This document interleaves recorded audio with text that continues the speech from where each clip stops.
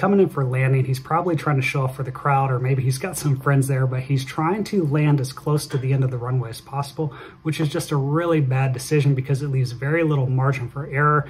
Here he comes, there's the road. He actually bounces off of the road before he touches down on the runway.